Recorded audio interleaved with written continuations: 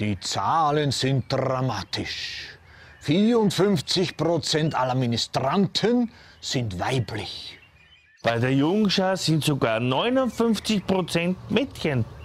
Und auch im Pfarrgemeinderat haben die Frauen mit 53 Prozent bereits die absolute Mehrheit. Tendenz steigend.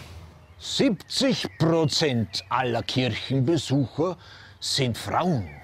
Erstkommunionvorbereitung, Kindergottesdienstvorbereitung, der gesamte Pflegebereich. Fast komplett in weiblicher Hand. Wenn das so weitergeht, kommt es zur schleichenden Übernahme der Kirche durch die Frau. Dann haben wir solche Zahlen eines Tages in der Bischofskonferenz. Und das Gefährlichste, Frauen heutzutage wollen auch wirklich mitbestimmen. Nicht nur beim Blumenschmuck oder beim Kelchputzen. Wir Männer dürfen die Führung nicht aus der Hand geben. Aber was können wir da tun? Ganz einfach. Wenn deine Frau dich fragt, was ist denn am 18. März 2012?